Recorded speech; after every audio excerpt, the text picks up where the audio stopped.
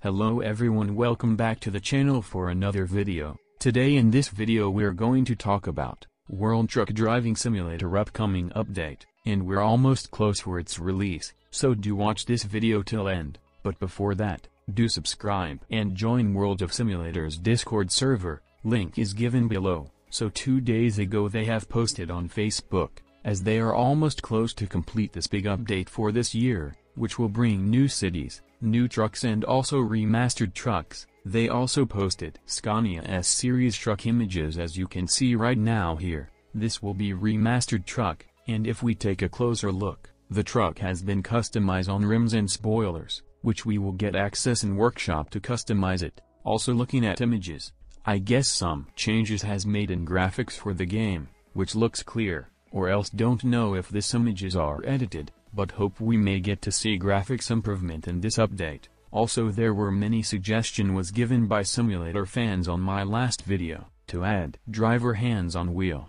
new Kenworth Trucks series, smart AI traffic like bus simulator Indonesia and also traffic light system which was suggested by players. I hope Dynamic Games will look into this matter and add what players want to add in game, or else. We already have many truck simulator games which has been released and some are yet to release in next few months, but this game has some attachment from last almost 7 to 8 years, so hope Dynamic Games will continue to give update on time in future, as this update has already took one year, so hope we may see new update for game in every 3 months.